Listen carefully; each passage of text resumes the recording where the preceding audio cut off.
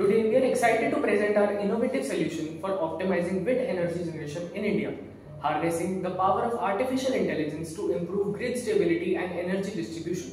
As India continues to expand its renewable energy capacity, wind power plays a crucial role in meeting the country's growing energy demands. However, one of the primary challenges we face is the unpredictability of wind energy. Unlike conventional power generation, wind energy is highly variable and this fluctuation makes it difficult for the power grid to manage energy distribution effectively.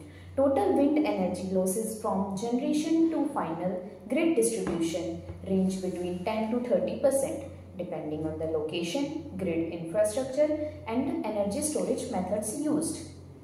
Our solution addresses this problem directly. We have developed an AI-based prediction model that can forecast wind energy generation with higher accuracy by analyzing historical and real-time data from weather stations, wind turbines and environmental sensors.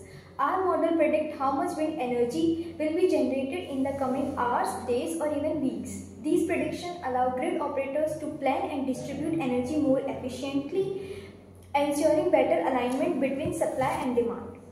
The benefits of this approach are twofold. First, it helps reduce the reliance on fossil fuel-based energy during periods of low wind generation, supporting India's climate goals by lowering carbon emissions.